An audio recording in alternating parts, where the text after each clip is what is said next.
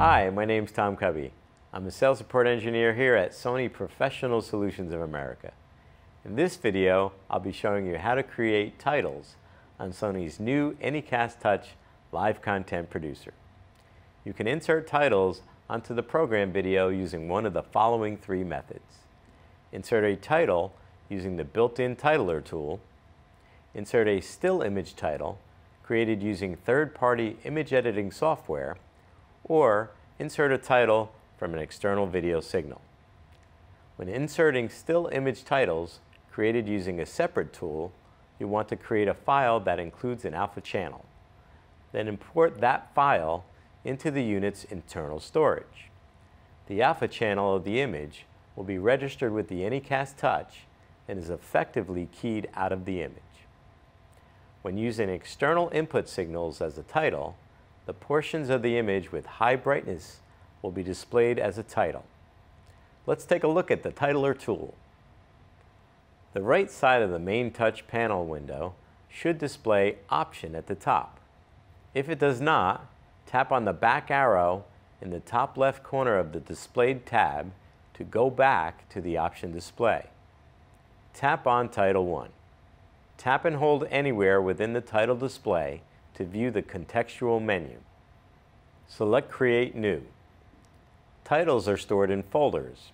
If there are already folders in the internal storage, you can tap on a folder and then tap Open to access the Titler tool. Alternatively, you can also create a new folder by tapping the New Folder button. The Titler tool utilizes templates for title creation. There's a slider on the right of the display providing access to all of the templates that come for free with the Anycast Touch. You can also swipe your finger vertically to quickly scroll through the template options. Once you've found one of the templates that you would like to use, simply tap on it to begin work. Double tap on the text.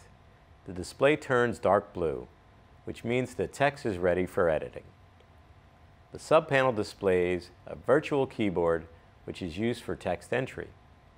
For added efficiency, a USB keyboard connected to the Anycast Touch can also be used for text entry in the Titler tool.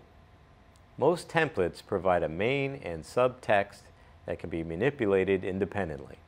You can also modify the subtitle by double tapping on it.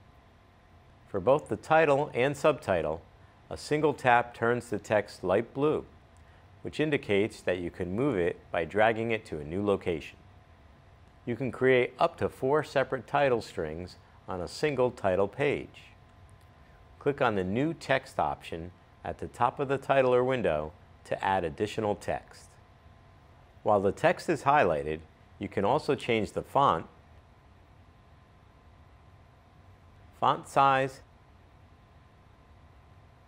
and font color using the controls at the bottom of the screen. Please note, you can change all of the text, but you cannot alter the background images of the templates themselves. Click on Close at the top right to finish.